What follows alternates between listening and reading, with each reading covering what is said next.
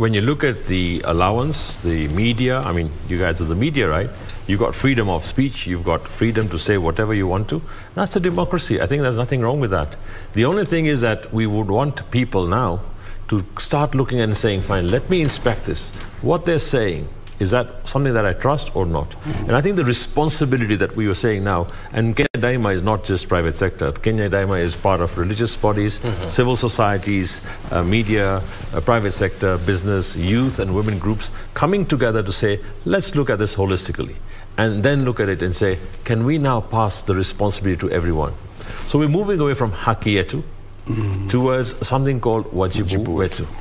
And from that, we're saying this time, nitatenda wajibu wangu. So when we say nitatenda wajibu wangu, we're asking wajibu wangu ni nini? So a lot of people are asking that. And what we're saying is three things. First and foremost, check screen. Kagua kabla kuchagua, which means check the people you are going to bring in. Are they the right people for what I would like to see in this country?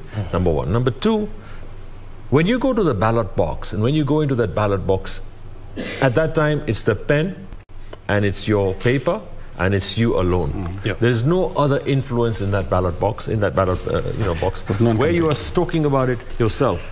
Yeah. Do the right thing. Wajibu wangu is do the right thing and bring the right people out. Mm-hmm. Not being influenced by tribe, like not in being influenced by party or colors, and really say wajibu wangu is this. Vote. Well. And after voting, after voting, saying go back home, peacefully wait for the elections, uh, for the results, and then whatever happens. Another wajibu wangu for the political leaders, we're saying, is to say if you win, have your speech ready. Mm-hmm. If you lose, have your conceding speech ready. Two speeches. And accept.